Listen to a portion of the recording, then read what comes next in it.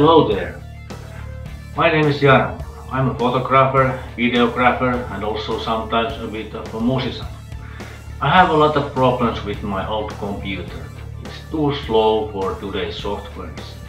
It doesn't have enough power to edit for example uh, 4K videos or handle large image files. That's why I want to build a new computer from new faster parts. Uh, I had to do a few compromises because my budget was about 2000 euros. You know what this corona pandemic has done to the prices of uh, electronic components. Everything is now higher. Uh, but I'm very sure my new computer will be much more faster than my old one. In this video I want to show you how I do it and maybe this will help you if you like to update your computer or build a new one. Let's start.